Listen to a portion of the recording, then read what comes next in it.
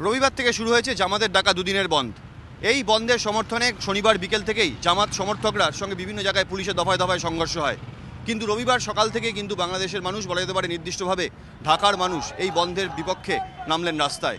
একদিকে যখন রাজাকারদের সর্বোচ্চ শাস্তির দাবিতে ঢাকা শহরে চলছে লক্ষ মানুষের আন্দোলন, আর সেই আন্দোলনের বিরোধিতায় যখন একদিকে চলছে জামাত এবং বিএনপির ডাকা ধর্মঘট, সেই ধর্মঘটকে ভাঙতে সরাসরি নাগরিক সমাজ, সাধারণ মানুষ নেমে এসছেন রাস্তায়। আপনারা দেখতে পাচ্ছেন ধর্মঘটের দিন।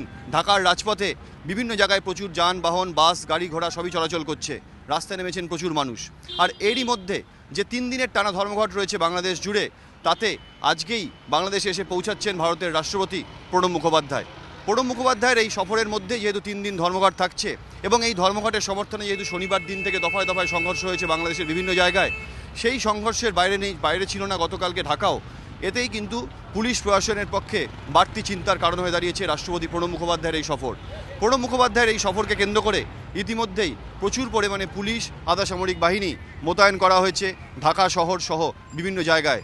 গড়ে তোলা হয়েছে নিশ্চিদ্র নিরাপত্তা, যাতে প্রণব মুখোপাধ্যায়ের এই সফরে কোনো রকম অনভিপ্রেত ঘটনা না ঘটে। এরই মধ্যে শাহবাগ চত্বরে গত পাঁচই ফেব্রুয়ারি থেকে যে আন্দোলন শুরু হয়েছে, সেই আন্দোলনের সমর্থনে যত মানুষের ভিড় বাড়ছে, ততই কিন্তু মৌলবাদী হুঙ্কারও বাড়ছে বাংলাদেশে। আর সেই হুঙ্কার যাতে প্রভাব ফেলতে না পারে সাধারণ মানুষের জীবনে, সেই হুঙ্কারকে উড়িয়ে দিয়ে বাংলাদেশের সাধারণ মানুষ, ঢাকার সাধারণ মানুষও কিন্তু এই ধর্মঘটের বিরোধিতায় সরাসরি নেমে এসছেন রাস্তায়, যা বাংলাদেশের রাজনীতিতে যথেষ্টই অভিনব, যথেষ্টই নজিরবিহীন বলে মনে করছেন বাংলাদেশের বহু মানুষই।